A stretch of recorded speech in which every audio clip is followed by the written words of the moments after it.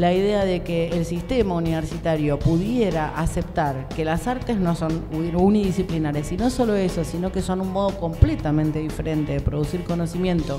de la ciencia y de la tecnología, logró cierta seguridad en los artistas respecto a que no iban a tener que adaptarse a los parámetros de los científicos y de los tecnólogos y también logramos convencer a los científicos y a los tecnólogos de que no es que lo que nosotros hacíamos no era investigación, sino que era otra forma de investigación.